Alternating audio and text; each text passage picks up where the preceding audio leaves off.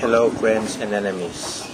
It's a beautiful day today, so I thought I'd go outside. There's just uh, different sounds and noises all around. Birds, people hammering, doing some roof repairs, airplanes. But uh, to the main uh, uh, topic. Mm. When we uh, when, when we think, where did those thoughts come from?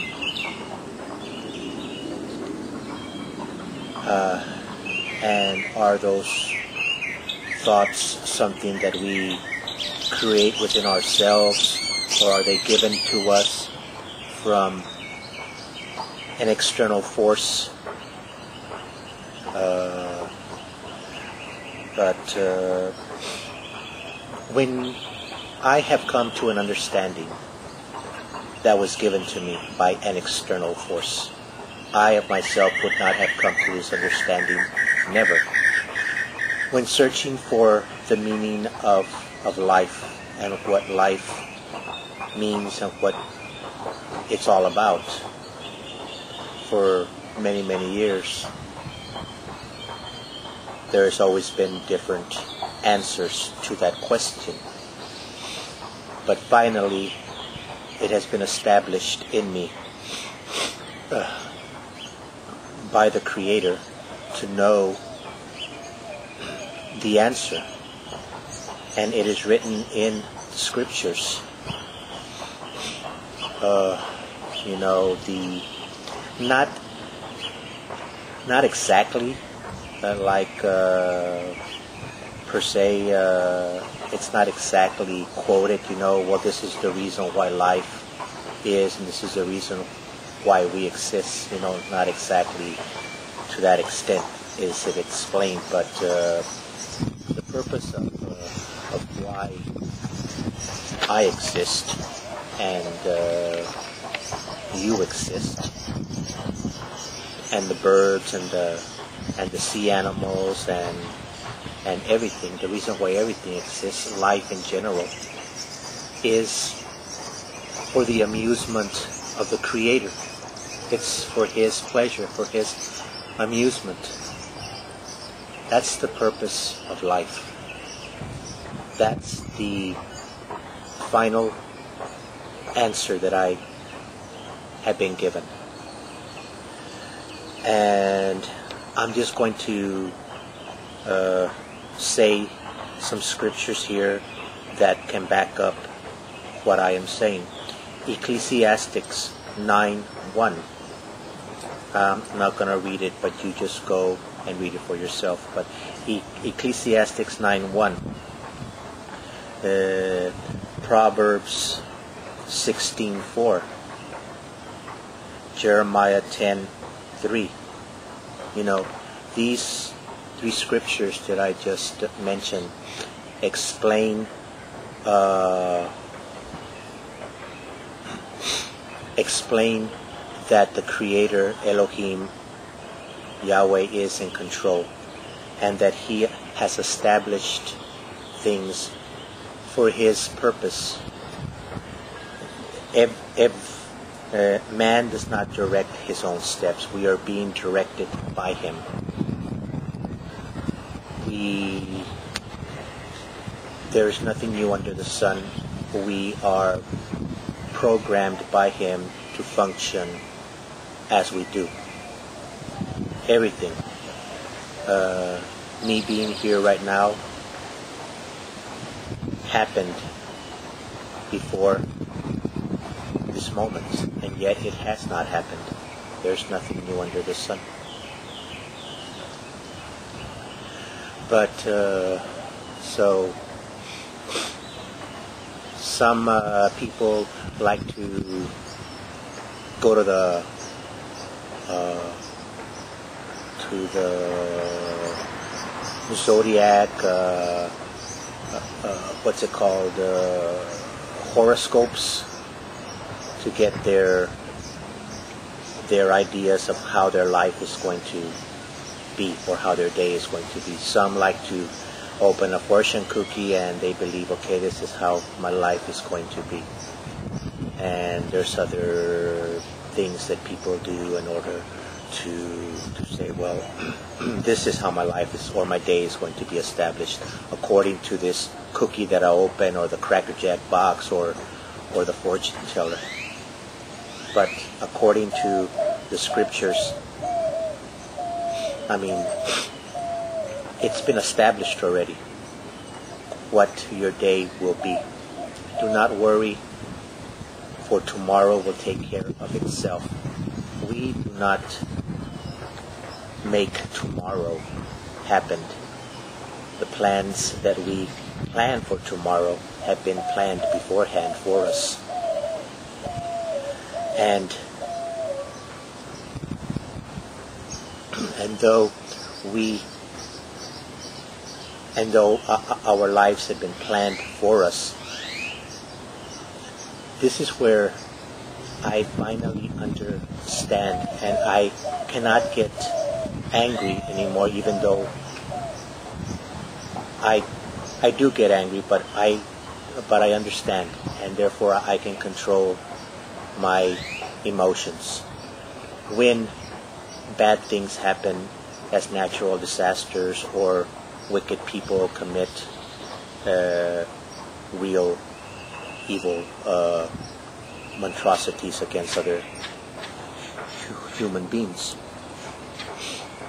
When you come to the conclusion that, uh, like I have, like it has been given to me, when you have that conclusion and it's been established in you, like it has in me, then you can see that uh, the good and the evil, the be it good and evil that man does or good and evil that nature does, it's all been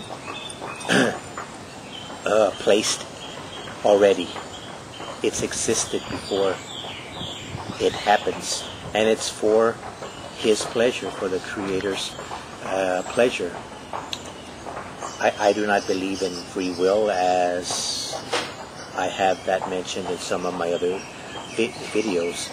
And since there is no free will, therefore we are living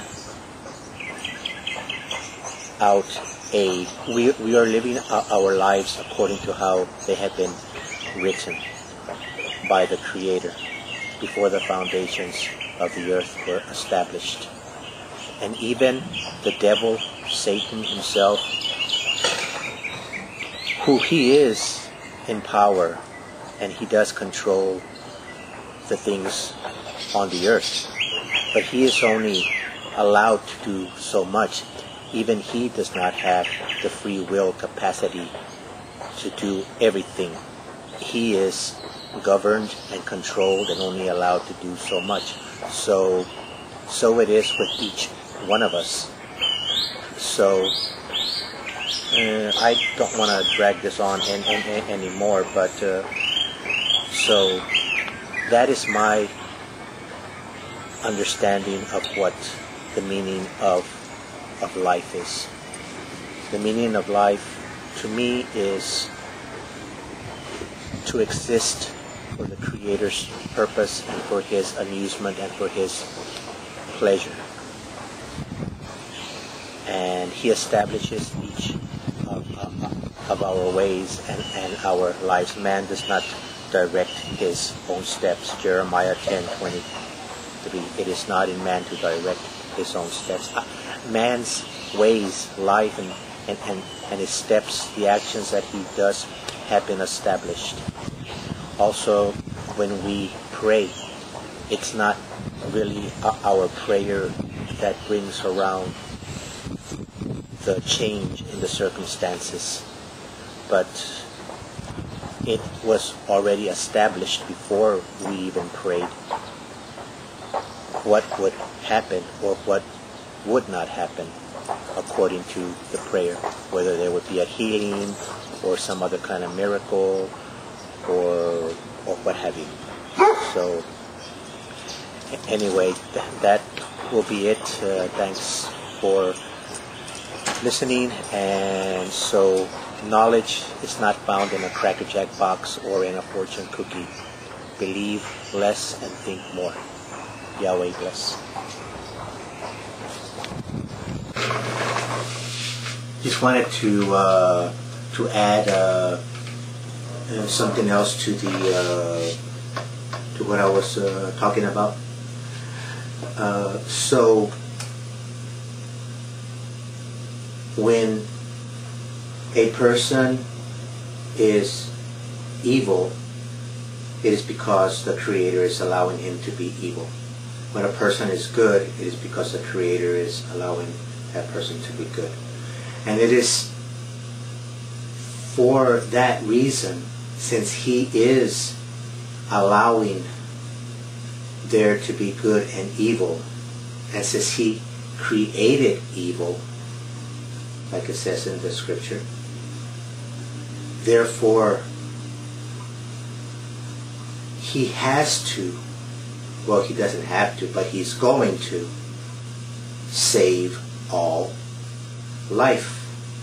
All human beings, no matter how wicked you were, will have your place somewhere in salvation. Mind you that uh, there is a process. One has to be refined in his fire. There is scripture to back that up, where people are placed in fire and are refined and purified with the fire of Elohim. So, all people will be saved according to how it has been given to me to understand life. All will be saved, even the most wicked of wicked people since he is the one that made the person to be wicked and the person doesn't have the free will or the opportunity within himself or, or herself to be a good individual or a righteous person, then wouldn't you think that it would be just and fitting for an all-loving God to, after that person has served their purpose of being wicked, because he established them to be wicked? Wouldn't a just and all-loving God give salvation to that person? After all, that person is doing the will of God, the will of the Creator. Not his righteous will, but he is doing the will of the Creator.